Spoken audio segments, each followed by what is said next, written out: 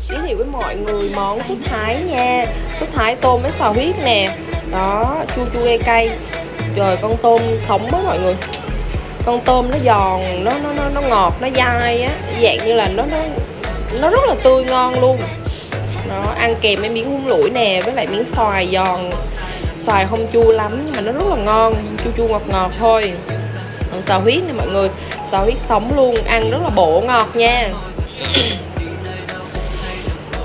mọi người nên order ăn thử cái món này nha. Phần của thảo đang ăn á là 99 ngàn thôi. Ăn chắc ăn phải hai người quá chứ ăn một người không bao giờ hết được nè. Rồi, con tôm nó ngon, dễ sợ luôn á mọi người ơi. Rồi, ai mà đạo của món thái á thì nên order món này ăn nha. Thực sự rất ngon nha.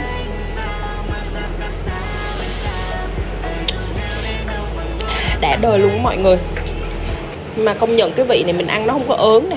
Ăn thích lắm mọi người nha.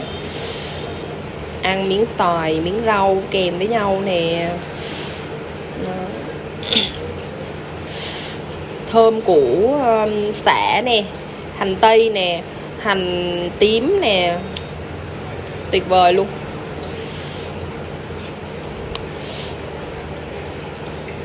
Con xào huyết nó ngon ghê luôn á.